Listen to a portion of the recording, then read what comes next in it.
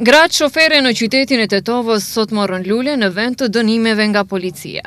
Pas kontrollit rutinor të dokumentacionit, atyre iu dhurua lule duke iu uruar festën e gruas nën moton Lule në vend të dënimeve. Iniciativë kjo e Sektorit për Punë të Brendshme në Tetovë. Policia sot nuk dënonte vozitëset, por si asnjëherë më parë pas kontrollit rutinor të dokumenteve të grave vozitëse, policia u dhuronte atyre nga një lule, Duke iu uruar, kështu, festën e tetë marsit.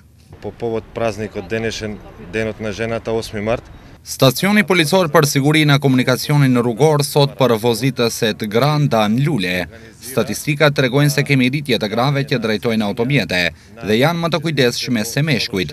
Prandaj edhe vendosëm që t'u dhurojmë lule atyre për t'ua uruar festën e tetë marsit. Aktiviteti i sotëm i policisë kishte për qëllim që përmes uratave për festën e grave dhe duke u dhuruar lule atyre, t'i rikujtojë se edhe sektori i punëve të brendshme të Tetovës i bashkohet kësaj feste të fundshekullit të njëzet, kur gratë filluan të gëzojnë të drejtat e tyre. si për të punuar, vozitur e votuar, po ashtu edhe për të drejtuar institucionet, por, pse jo edhe shtetet.